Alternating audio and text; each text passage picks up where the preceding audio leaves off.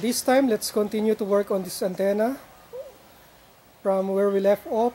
That is the addition of the gamma match and the tuning stub so this antenna has now a gamma match connected to it on the VHF side in the tuning stub also a gamma match in the tuning stub on the UHF side. It's now connected by the phasing harness running to the feed line. It's an RG8 coaxial cable going to the vector impedance analyzer. So but first take a look at my cat. She's Miss Mrs. Mau Mau. Mau Mau. She's pregnant. So there must be another addition to the brood Okay, let's continue. So let's check the frequency response of this 3 by 5 cross Yagi antenna for intended operation. It's amateur band frequency from 144 to 148 and on the UHF side it's from 430 to 440 megahertz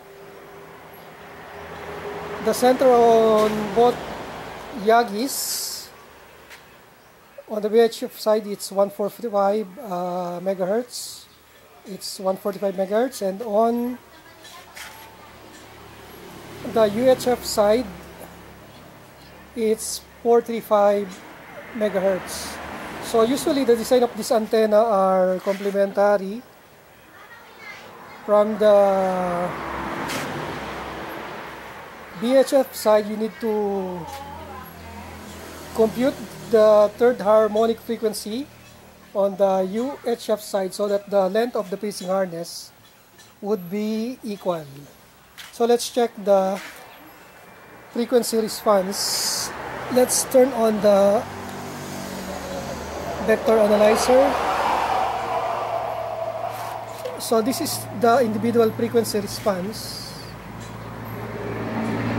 we are on 145 megahertz. As we can see it's it's 145.5 it's 1.1 so let's move to the center frequency.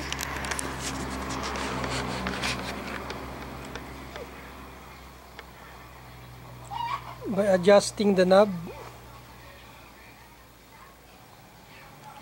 So the center frequency is showing 1.0 SWR on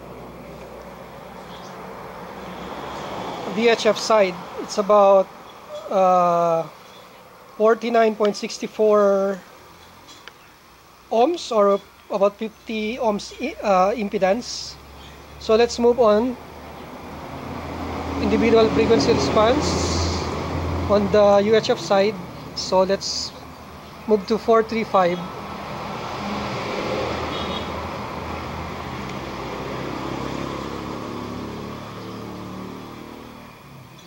so our center frequency on UHF is showing 1.173 on 435 megahertz. Mm, let's check the lower frequency which is 430 so let's move going down 434 is 1.3 433 is 1.5 432 is 1.7 431 is 1.9 and 430 is 2 is to 1 so let's move up now.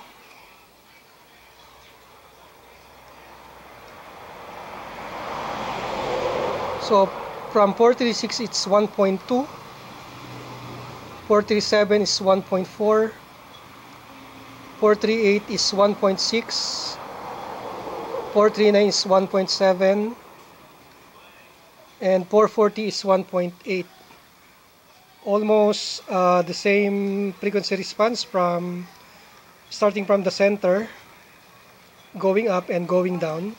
It's about 2 is to 1 SWR on both sides. On the center frequency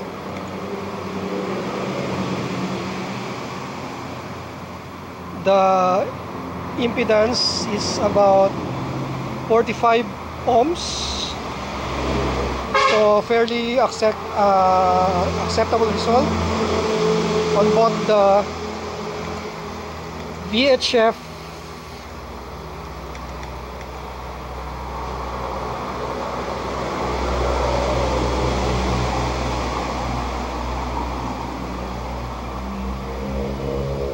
and the UHF side. So let's check the frequency response of this antenna from 140, let's say 140 or 142. So let's move down. 144 is 1.1. 143 is 1. 143 is 1.3.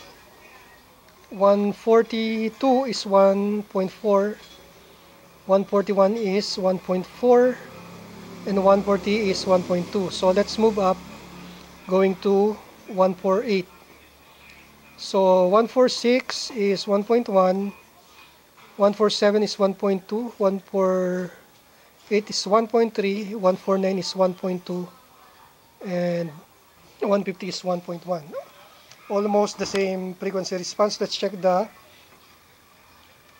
SWR curve on the VHF band. So as we can see from this uh, VSWR curve we have 1.0 at 145 megahertz. Our curve is showing us about 1.5 to 1.3 from the intended frequency of 140 to 150. So let's check the frequency response of this antenna on the UHF side. I just need to adjust the readout on the analyzer. So let's move this to the UHF band so let's start with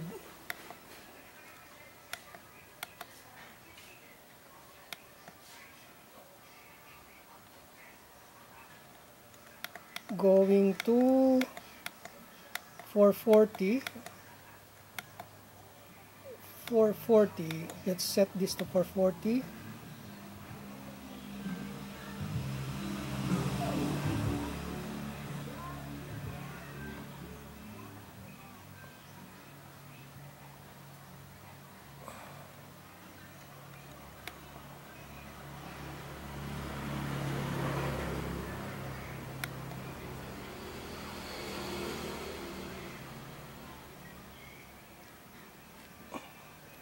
the low band is 140 let's move it to 430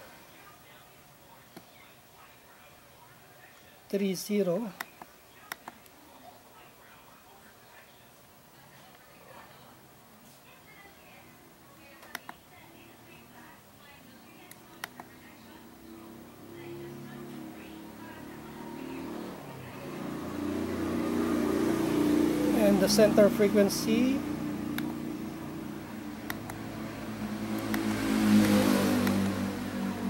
To 435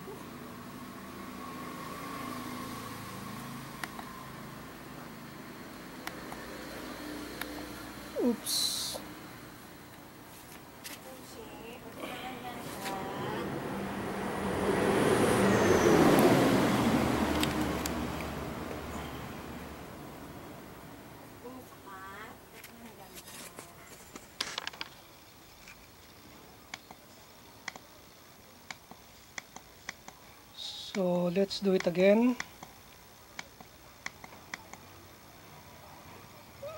Let's adjust this to 435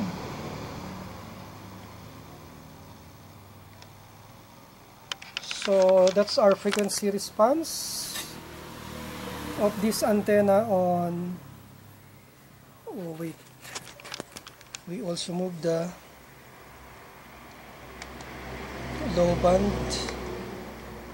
So it's on should be on 430 430 okay 430